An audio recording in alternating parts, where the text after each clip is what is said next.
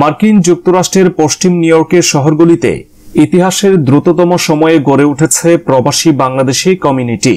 Buffalo, Syracuse, Rochester Niagara Falls Jamestown সহ বেশ কয়েকটি শহরে উল্লেখযোগ্যভাবে দেখা যায় বাংলাদেশিদের বসতি স্থাপনা। ব্যবসা বাণিজ্যের প্রসারের পাশাপাশি কৃষ্টি কালচার, সভা সমিতি নাচ গানের আসর, পিকনিক, এমনকি এখানে রাজনৈতিক দলের নিয়মিত প্রোগ্রামগুলি আয়োজন করতেও দেখা যায়। এখানে বাংলাদেশ জাতীয়তাবাদী দল বিএনপির রয়েছে একটা বিরাট সমর্থক গোষ্ঠী। যদিও পশ্চিম নিউ ইয়র্কের কোথাও বিএনপির বৈধ কোনো কমিটি নেই। তারপরেও নিয়মিত চলছে রাজনৈতিক কর্মকাণ্ড।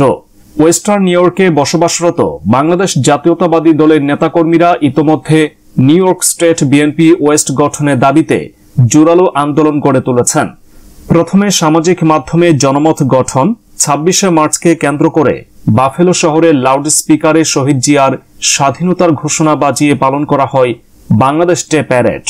আনুষ্ঠানিকভাবে শহীদ প্রেসিডেন্ট জিয়াউর রহমানের উপর নির্মিত হয়েছে ডকুমেন্টারি। পালন করা হয়েছে বিএনপির গুরুত্বপূর্ণ রাজনৈতিক কর্মসূচি। এরপরে সাংবাদিক সম্মেলন করে New York state BNP west গঠনের আনুষ্ঠানিক দাবি করা হয়েছে। যেহেতু সময় উপযোগী একটা দাবি, রাজনৈতিক দাবি আমরা উত্থাপন করছি নিউ ইয়র্ক ওয়েস্টের ব্যাপারে।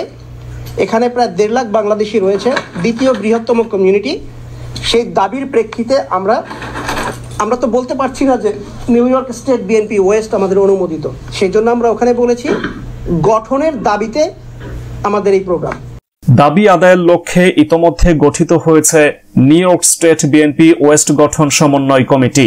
একশো এক সদস্য বিশিষ্ট এই কমিটির প্রধান সমন্বয়ক হিসাবে নির্বাচিত হয়েছেন মতিউর রহমান লিটো।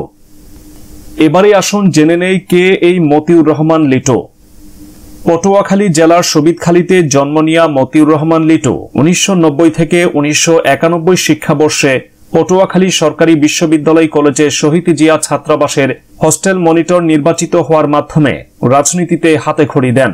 উনিশশো তিরানব্বই সালে কর্মসংস্থানের উদ্দেশ্যে ব্রুনাই লিকুইফাইড ন্যাচারাল গ্যাস বিএলএনজিতে আসমিন এন্টারপ্রাইজের সেফটি অফিসার হিসেবে যোগদান করেন। উনিশশো ছিয়ানব্বই সালে কোম্পানির পক্ষ থেকে ব্রুনাই সেল পেট্রোলিয়ামের আন্ডারে কয়েকটি ট্রেনিংয়ে পাঠানো হলে সেখানে তিনি প্রায় পাঁচশত কর্মকর্তা কর্মচারীদের মাঝে প্রথম স্থান অধিকার করেন।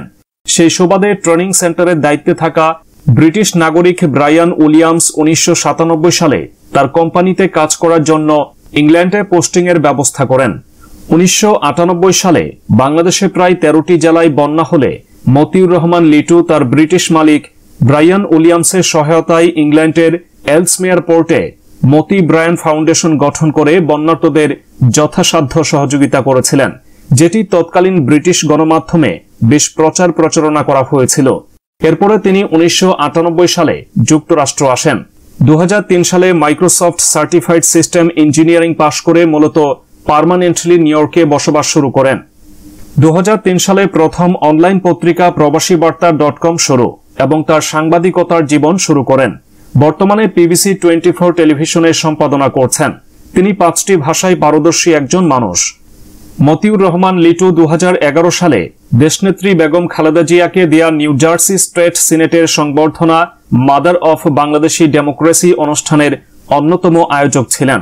দেশনেত্রী Begum Khaleda Zia New Jersey state senate থেকে ঐতিহাসিকভাবে জিয়া লাইব্রেরি ডট কম এর উদ্বোধন করেন। জনাব Motiur Rahman Litu Zia library dot com এর প্রেসিডেন্ট হিসাবে দায়িত্ব পালন করছেন। এছাড়া যুক্তরাষ্ট্র বিএনপি কর্তৃক আয়োজিত সকল বিক্ষোভ সমাবেশ কিংবা লবিং এর কাজে সরাসরি জড়িত ছিলেন।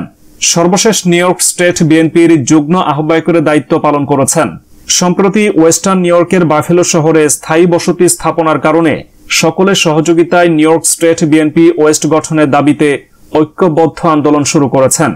তিনি বলেন, New York state BNP west গঠন করা ভৌগোলিক অবস্থানের কারণে সময় উপযোগী একটি রাজনৈতিক দাবি। এই দাবি পূরণ হলে ওয়েস্টার্ন নিউ ইয়র্ক এলাকায় শহীদ প্রেসিডেন্ট জিয়াউর রহমানের আদর্শকে যুক্তরাষ্ট্রের মাটিতে স্থায়ীভাবে প্রতিষ্ঠিত করা সম্ভব হবে। তাই New York state BNP west গঠন করে জেলা মর্যাদায় বিএনপির একটি কমিটি গঠনের জন্য দলের হাইকমান্ডার কাছে বিশেষভাবে অনুরোধ জানিয়েছেন।